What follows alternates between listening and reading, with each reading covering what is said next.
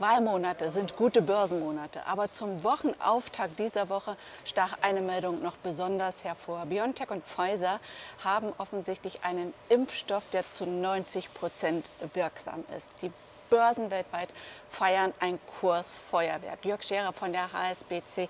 Wenn wir jetzt mal schauen, mit der US-Wahlentscheidung war der DAX ja schon spielend über den September-Widerstand und auch über den gleitenden 50-Tage-Durchschnitt. Aber das ist jetzt nochmal ein Kursfeuerwerk, was so nicht zu erwarten war. Ordnen wir die Lage mal neu aktuell ein.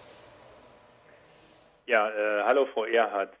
Ähm, die große Weichenstellung in der letzten Woche, die äh, Rückeroberung der doppelten Durchschnitte, so hatten wir das immer äh, umschrieben, also das Phänomen, dass 200-Tageslinie und 200-Wochenlinie in einem engen Kursband äh, zusammenfallen. Und ähm, das war, glaube ich, der große charttechnische Befreiungsschlag, dass wir jetzt dann zu Wochenbeginn nochmal äh, im Prinzip äh, durch das Thema äh, möglicher Impfstoff-Rückenwind erhalten, äh, spielt uns natürlich dann in die Karten. Wenn man so ein bisschen ein kleines Haar in der Suppe äh, finden möchte, dann ist es, dass wir jetzt äh, binnen einer Woche 1600, 1700 Punkte von den Tiefs zugelegt haben. Aber das ist wirklich nur ein kleines Haar, denn unterm Strich muss man sagen, ist es jetzt die dritte Aufwärtskurslücke in den letzten sechs Handelstagen und das unterstreicht hier schon ganz klar die Ambitionen der Bullen. Okay, das heißt, wir reden demnächst auch wieder über ein neues oder wenigstens das alte Allzeithoch. Ja, ähm, wenn es in dem Tempo weitergeht, ist es vermutlich so. Vielleicht und das mit ein bisschen mehr Zurückhaltung formuliert, muss man sich auch noch Ziele für die kommenden Wochen und Monate äh, lassen. Aber Spaß beiseite. Ich habe es ja schon gesagt, diese doppelten Durchschnitte bei 12.200 Punkten also Kombination 200-Tageslinie und 200-Wochenlinie, äh, mit dem man eben gleichzeitig auch die vorangegangene Top-Formation negiert hat. Das hat die charttechnischen Perspektiven doch ähm, deutlich verbessert. Und dann kann im Rahmen einer Jahresendrallye äh, tatsächlich auch nochmal das äh, alte Allzeithoch, sprich die Marke von 13.795 Punkten, ähm, ins Blickfeld rücken auch wenn ich mir wünschen würde, dass es eine gesündere Entwicklung wäre, wenn man das Tempo der letzten Tage jetzt nicht ganz beibehalten würde. Okay. Der japanische Aktienmarkt hat uns das schon ein bisschen voraus. Der höchste Schlussstand im Nikkei 225 seit 1991. Ende Oktober begann da eine fulminante Aufwärtsbewegung die gab es schon immer mal. Aber meistens war bei 24.000 Punkten Schluss. Jetzt ging es zu, zugleich relativ spielend weiter. Und was auch auffällt, eine relative Stärke zu vielen anderen Indizes. Und da haben die japanischen, überhaupt asiatischen Aktienmärkte die neuesten Impfstoffmeldungen ja noch gar nicht verarbeiten können. Wie erklärt sich schon überhaupt dieser große Zugewinn, nicht nur die letzten Handelstage?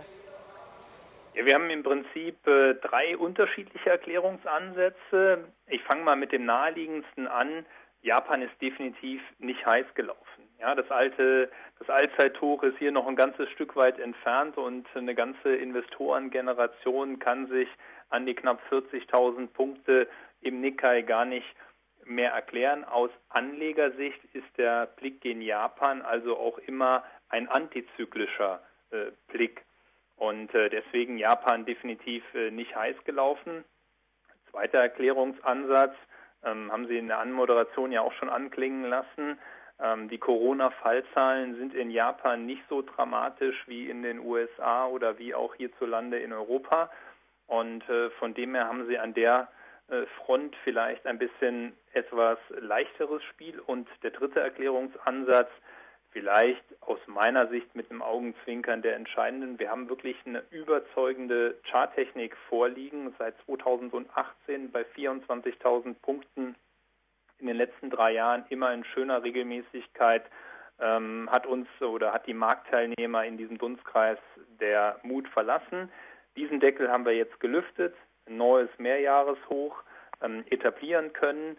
Die gesamte Kursentwicklung des Jahres 2020 kann damit als V-Formation interpretiert werden und das sorgt dann charttechnisch schon für ein Ausrufezeichen hinter die Bodenbildung der letzten ähm, drei Dekaden.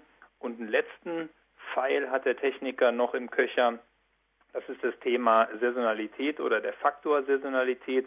Von Ende Oktober bis Anfang Mai auf Basis der Daten seit 1990 ist der Nikkei traditionell stark, kann im Durchschnitt äh, über die letzten gut 30 Jahre eben 5% zulegen im genannten Zeitraum und das ist sogar mehr, als er im durchschnittlichen Gesamtjahr äh, zulegen kann. Da steht nämlich nur ein marginales Kursplus ähm, zu Buche. Also im Prinzip im Moment ähm, vielfach grünes Licht, wenn man nach Japan schaut mit einem äh, ersten Anlaufziel bei 27.000 Punkten.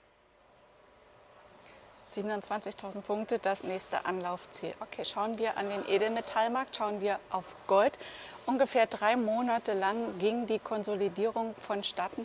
Ist da jetzt der Deckel gelüftet, sprich der Widerstand bei 1900, 1903 Dollar ähm, sozusagen weggeblasen?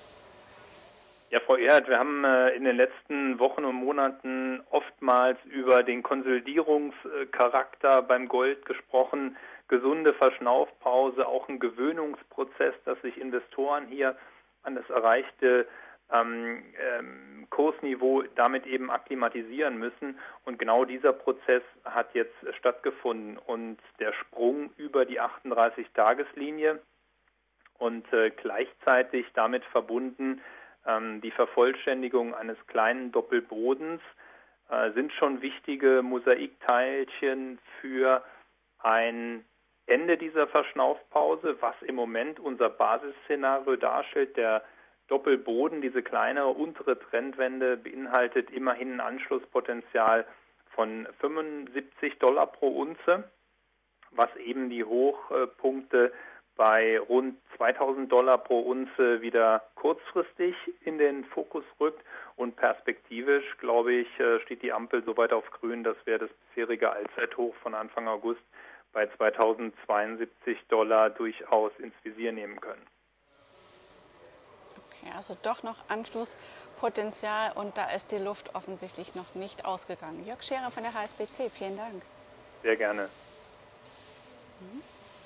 Ja, Jörg Scherer von der HSBC sagt, es geht ein bisschen schnell im DAX vonstatten nach der 1000-Punkte-Rallye der Vorwoche. Jetzt nochmal mit dem US-Wahlsieg und der neuen Impfstoffhoffnung heute allein nochmal 800 Punkte obendrauf gesattelt. Nichtsdestotrotz sagt auch der Charttechniker, die Bullen scheinen das Heft in der Hand zu behalten. Ebenso in Japan. Der asiatische Aktienmarkt konnte auf die Impfmeldungen noch gar nicht reagieren, aber hier sieht Jörg Scherer auch ein Anschlusspotenzial bis auf 27.000 Punkte.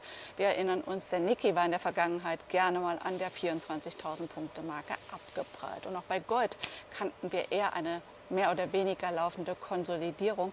Aber hier scheint auch der Deckel gelüftet. Anschlusspotenzial 75 Dollar zunächst.